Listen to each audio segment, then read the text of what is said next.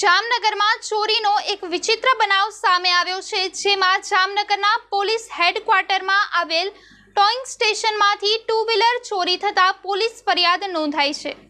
જામનગર શહેરના section road હેડક્વાર્ટરમાં આવેલા towing સ્ટેશનમાં એક્ટિવા ગત તારીખ બાવીસના રોજ ડિટેન કરીને રાખવામાં આવ્યું હતું, જે પાંચ દિવસ દરમિયાન કોઈ અજાણ્યો ઇસમ ચોરી છતાં પોલીસ ચોંકી ઉઠી હતી અને થયું એવું કે આ અંગે ટ્રાફિક પોલીસે જ ફરિયાદી બનવાનો વારો આવ્યો છે. હેડ કોન્સ્ટેબલે અજાણ્યા શખ્સ વિરુદ્ધ પોલીસ ફરિયાદ નોંધાવી છે. જેની તપાસ સિટી બી ડિવિઝન પોલીસે હાથ ધરી છે.